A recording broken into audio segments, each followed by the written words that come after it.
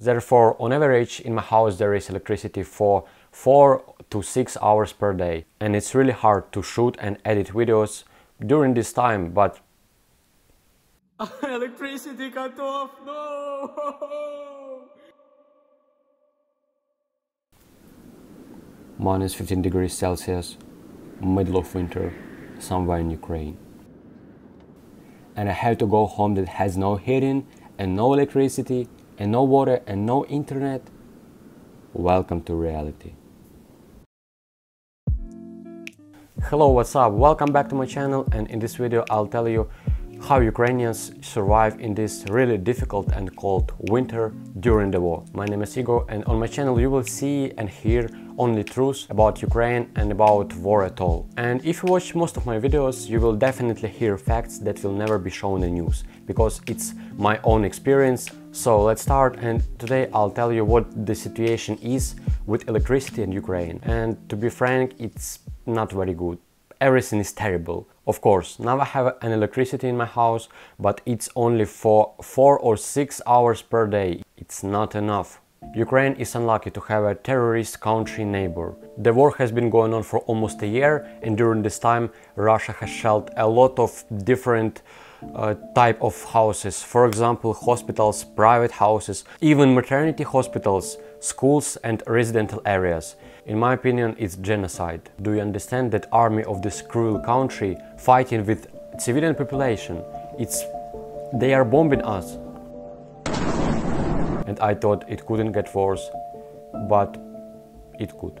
As winter began to approach, Ukraine became a victim of Russia's attack on critical infrastructure. They started bombing power plants in winter.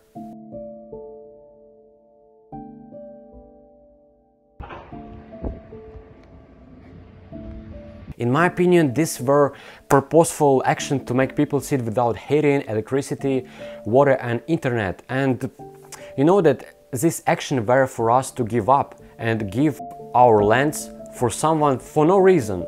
But I confidently can say that Ukrainians are freedom-loving people and they wouldn't give up. Together with your support, we will get through this difficult time and everything will be fine and I am very grateful to everyone who helped us with some donate.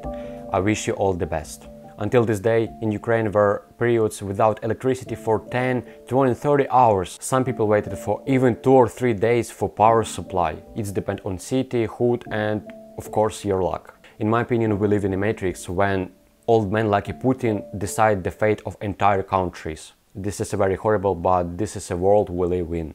So what we have now, Ukraine's energy infrastructure now in a very poor condition, so plant and emergency power outages are used throughout the country. Each city has its own power outage schedule. To be frank, sometimes electricity can be turned off more often than on the schedule because accidents or Russia's shelling occur.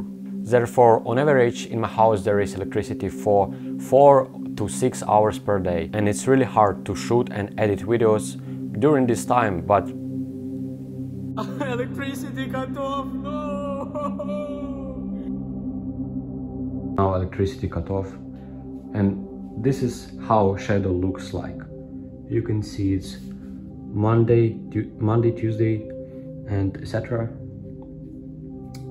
It means energy on, it means maybe, it means non-energy.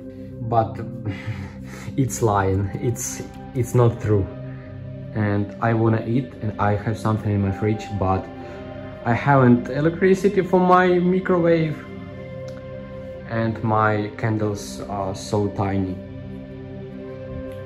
Ukraine without my phone flash it looks like horror film Conjuring 4 these candles are not enough you can't see anything because because I haven't any candles. of course, Ukrainians get used to this life with electricity problems, but sometimes emotions can be contained. It's genocide! It's genocide! I have a lot of emotions. Russia, stop war! And don't touch my electricity plants! Friend from England recently asked me what I do when there is no electricity. The answer is very simple. Since it's boring at home and I have nothing to do, I go for a walk on my beautiful view. Because, in my opinion, I don't need to whine, but I need to thank God that I am alive at such time. And I thank my army to protect us, and everyone should be strong and go forward. It's difficult, but we will see it without electricity and save Ukrainian independence. And thank the people from all over the world who helps us in any way. We will always remember this. Thank you. You can hear generators now, but my house hasn't any electricity. No. I was walking down the street and now you can see no electricity at all.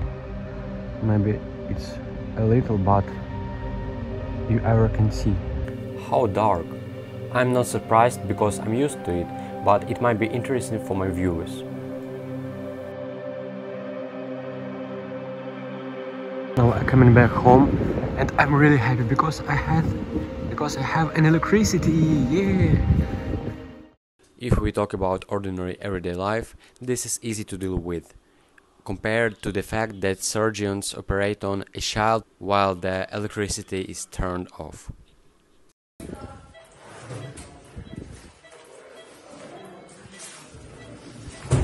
Вот так мы сегодня оперируем на сердце. Выключился свет. Хирурги оперируют своих налобных. Операция двухклапанного протезирования с лампочкой на аккумуляторе. Все стабильно? I came back after six hours. That's it. And I want to say my last words that it's hard, it's really hard to shoot and edit video during this time, during time of electricity cut off and it's unreal. But I genuinely want to tell people what are happening around so people understand what kind of world we live in. Please put a like and consider a subscriber to my channel and hitting the bell icon because you know for me it's real motivation to do more videos and that's it. Thank you for watching. Have a great time. Thank you.